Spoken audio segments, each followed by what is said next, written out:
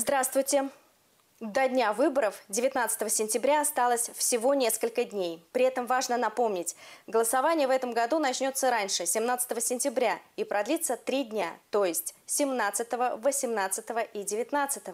Опыт показал, что так удобнее для избирателей, которым не придется выбирать между походом на избирательный участок и поездкой на дачу.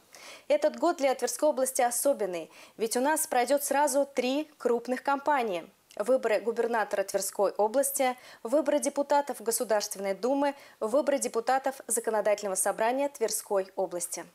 Тверская «Единая Россия» идет на многоуровневые выборы одной большой командой. Список партии «Единая Россия» на выборах в Законодательное собрание Тверской области возглавляет лично губернатор Игорь Руденя. Второй номер списка – советник президента Российской Федерации Владимир Васильев. Третий – лидер тверских волонтеров, директор Тверского добровольческого центра «Мы вместе» Юлия Саранова. Сегодня она гость нашей студии. Юлия, здравствуйте. Здравствуйте. Расскажите, пожалуйста, о своей семье. Спасибо. Мне очень приятно начинать э, нашу встречу именно с разговора о моей семье.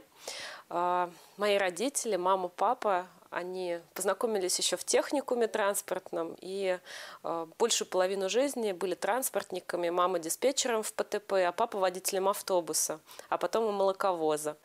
Ну а брат закончил Тверское Суворовское училище, мы очень им гордимся. Дальше Академия МЧС и теперь служит э, в нашем Тверском МЧС, пожарный спасатель. Юлия, 15 лет назад вы начали свою волонтерскую деятельность. Вспомните свой первый опыт работы э, в таких проектах и, насколько я знаю, вы еще являетесь донором. Это правда? Да, как раз с донорством и был связан э, первый проект нашей команды студенческой. Наш первый проект назывался «Подари каплю надежды». Э, он рассказывал студентам о том, что такое донорство крови, почему это важно, зачем это нужно. Мы все стали донорами. С тех пор я сдаю кровь, а мои товарищи по команде продолжают сдавать регулярно кровь. Мой брат стал донором, мы с ним теперь даже вместе сдаем. А, и уже 20 раз, вот а, последний раз был 20-й, экватор до сдачи, до получения почетного звания почетный донор России. Как я стала кандидатом? На самом деле, скажу честно, никогда это не было какой-то моей целью, да, вот стремлением таким то дело, которым я много лет занимаюсь, оно связано с оказанием помощи людям. И э, когда я увидела возможность э, участвовать в выборах, я рассматривала это только как э, возможность расширить да, вот эту свою работу, оказывать помощь в большем объеме. Почему от партии власти, почему от «Единой России»? Я уже много раз отвечала на этот вопрос, потому что это та партия, которая дала мне эту возможность. Дала возможность участвовать в предварительном электронном голосовании, после победы на праймерис а, войти в список а, партии, участвовать как кандидат. Какие впечатления от кампании? Что вам больше всего запомнилось? Какой вопрос? Э, какая встреча? Ну, на самом деле это такой марафон на выносливость, потому что очень много мероприятий, встреч с людьми, а, но меня готовили к тому, что вот, Юля, это будет очень сложно, это будет неимоверно а, нелегко. Это правда нелегко, но от встреч с людьми – я, наоборот, заряжаюсь энергией. На бульваре Цанова у нас была встреча с жителями, и детей специально не приглашали, они просто рядом играли. И мальчишки подошли ко мне и говорят, а можно нам спортивную площадку? И показали видео на телефоне, как они крутят воркаут на выбивалках для ковров. И вот это меня настолько зацепило. Они ходили со мной потом всю эту встречу, подарили мне юппи, пакетик с юппи и, и шоколадку свою. И вот, наверное, вот это искреннее даже желание детей, да, вот да, для себя, но сделать лучше, чтобы у них была возможность заниматься, мне кажется, такое не может оставить равнодушным. И вы хотите им помочь? Очень хочу.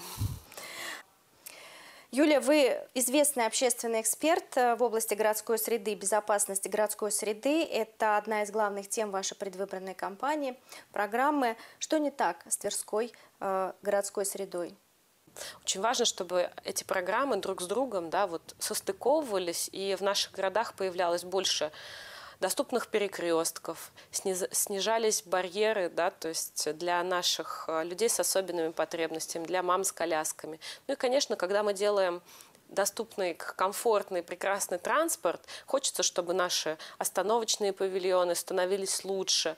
Да, там где-то не было площадки, а, департамент благоустройства там сделал площадку, а остановки, говорят, не защищают от дождя. Да, значит, нужно думать над другими конструкциями этих остановок. Недавно вы выступили с интересным проектом. Хотите запустить программу реновации детских э, оздоровительных лагерей насколько это реально, возможно сделать. И э, вы вообще сами в детстве летних лагерях были? Да, была все, все детство, э, провела в различных лагерях. Э, самое такое теплое впечатление и очень важное на самом деле место в моей жизни э, занял лагерь, который назывался «Острое перо». Это лагерь юных журналистов. И вы знаете, я думаю, что неспроста я потом поступила именно на филологический факультет, потому что в свое время четыре года подряд я ездила в этот лагерь сначала пионером, потом стажером, потом воспитателем.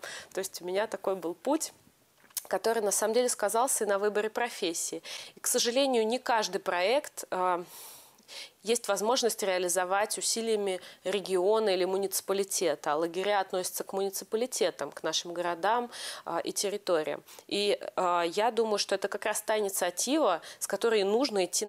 Юлия, скажите, на ваш взгляд, каким должен быть депутат и чем заниматься?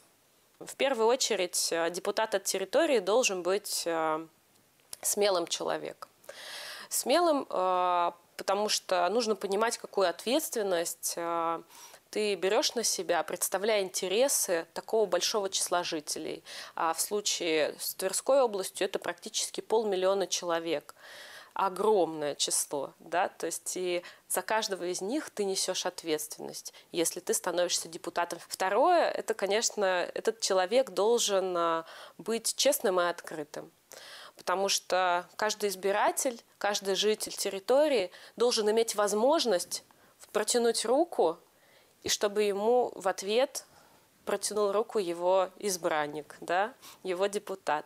Поэтому очень важно, чтобы это, этот диалог, он был не только в предвыборное да, время, он был на протяжении всей, всего времени работы депутата. Ну и последнее, на мой взгляд, депутат должен быть таким настоящим хомячком, который все в дом, все в семью, который будет продвигать область в разные национальные проекты и программы и обеспечивать, чтобы для нашего региона количество ресурсов, предусмотренных той или иной программой, было максимально возможным. Вы все просьбы записываете в блокнот, когда встречаетесь с жителями Тверской области. Что будет потом с этими наказами и с просьбами? Много ли вы получили от жителей Тверской области подобных просьб э, за все время этой кампании?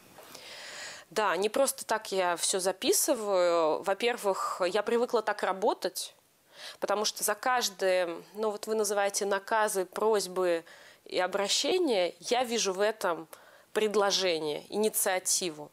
Все, что э, я смогла собрать за вот эти несколько месяцев, это огромный массив. Это огромный массив работы. И помимо индивидуальных историй, с которыми я ну, уже сейчас стараюсь оказать помощь людям, где-то посоветовать, где-то подсказать, где-то обратить внимание местных властей на этот вопрос.